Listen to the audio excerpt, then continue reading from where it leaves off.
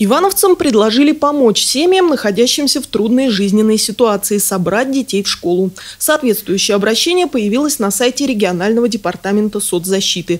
Благотворительная акция «Семья помогает семье» проходит в Иванове с 1 по 31 августа. В этот период будет организован сбор одежды, канцелярских товаров от населения для последующей передачи нуждающимся семьям особо нуждаются, наверное, вот в таких зимних вещах. То есть это курточки, пуховики. Да, с удовольствием, я еще раз говорю, что приносят даже спорт, инвентарь, с удовольствием семьи берут. Вот.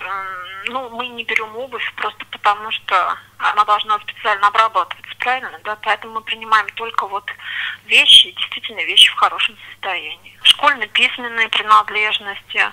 И вообще граждане очень активно откликнулись. Вот за первую половину а, августа а, приняло участие в этой акции где-то около 700 граждан нашего региона, да, и уже более 600 семей получили помощь вот именно в рамках этой акции.